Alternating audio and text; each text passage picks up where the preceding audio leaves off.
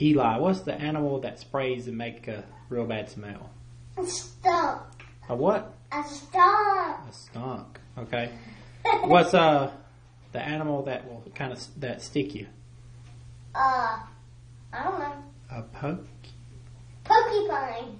A what? Porcupine. Porcupine? Yeah. Pokes ya. Okay. Not Porcupine. sticky. Yeah. It's not sticky. Um. Let's see.